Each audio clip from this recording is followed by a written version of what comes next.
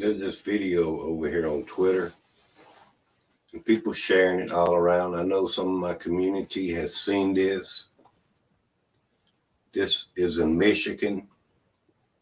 The air quality in Chicago, you know, the north of the United States,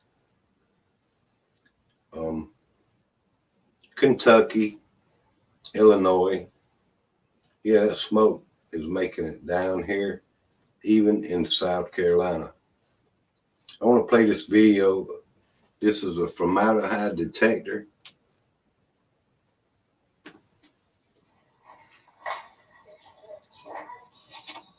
So that was my readings inside my house. Going outside now.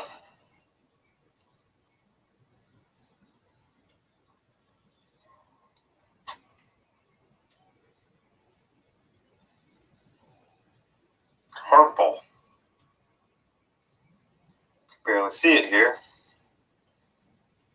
Serious.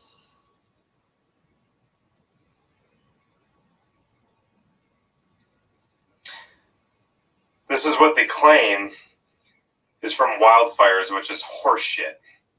The amount of formaldehyde in the air in Michigan, it's on a serious level. Like we're talking like dangerous here.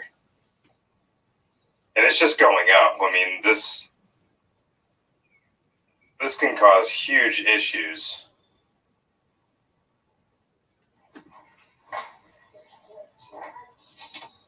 So that was my readings inside my house. Thank you for watching. And please share the video. And I wouldn't stay outside breathing that in. And please give it a thumbs up